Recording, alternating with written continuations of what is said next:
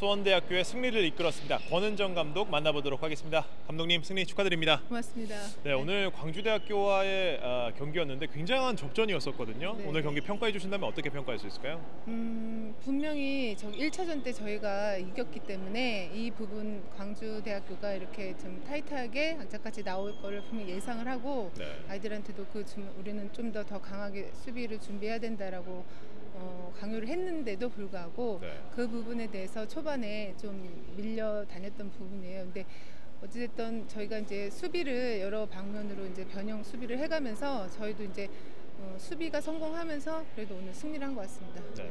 보는 저희들도 굉장히 숨이 막히는 그런 수비를 보여주셨는데 네. 감독님 올해 부임하시면서 수원대학교가 굉장히 좋은 성적 내고 있거든요. 네. 선수들과 팀 분위기 어떻게 또 만들어가고 계신가요?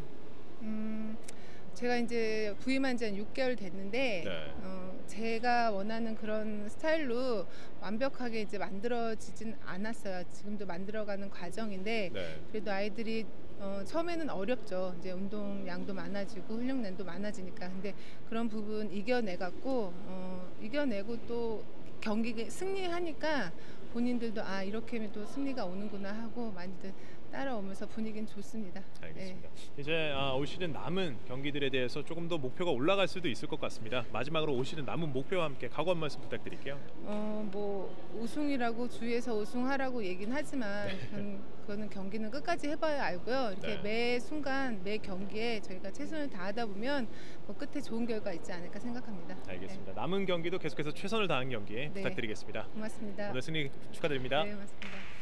지금까지 수원대학교 권은정 감독 만나봤습니다.